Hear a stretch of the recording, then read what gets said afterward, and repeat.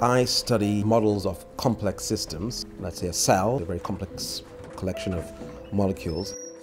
And I try to make mathematical models which capture the essence of certain processes which are happening. So for example, how do cells move? And I use methods from, from theoretical physics to try to, to, to develop these mathematical models.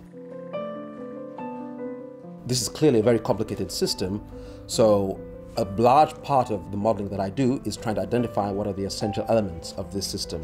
And this is, I think, where my background as a theoretical physicist really comes, comes into its own. Although it may sound as though what Henny and I do, that we do very different things, in fact, we're, we're using the same approach. So we both have a background in mathematical physics and theoretical physics.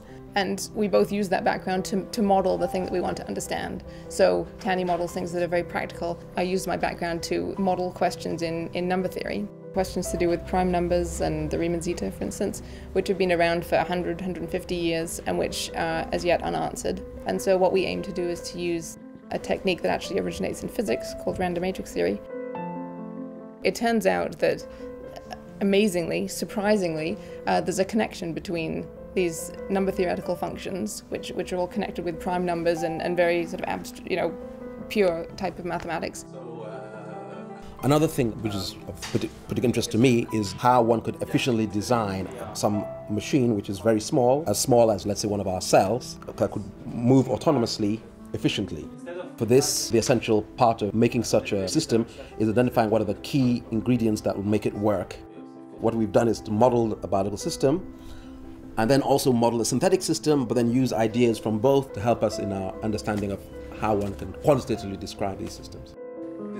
You often have groups of people working from very different backgrounds. So you might have, as well as people doing experiments, maybe chemists, physicists, biologists.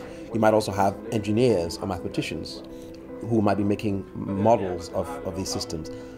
And actually, um, you often find that the kind of models that I and my collaborators make are the models which try to capture the essence of the, of the system.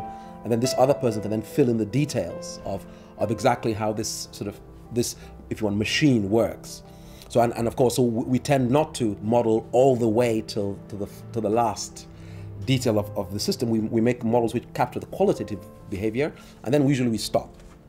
Because, because usually that's the bit we like, if you want.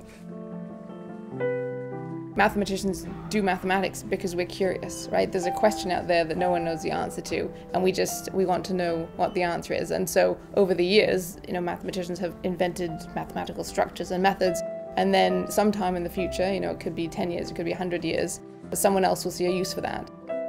So, I mean, all the technology we have around us today is all based on mathematics somewhere along the line, but we do the mathematics because, because we love it.